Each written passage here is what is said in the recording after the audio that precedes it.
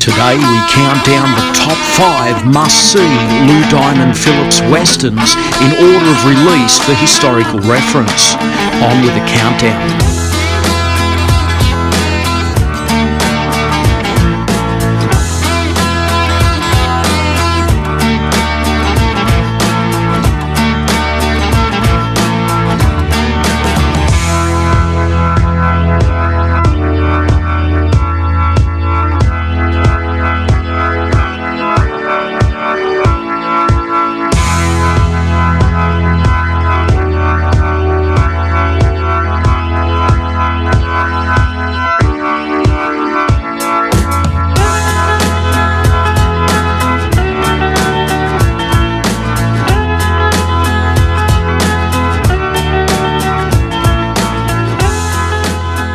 What's that mean anyway? Atse, atse. It's an ancient Navajo word.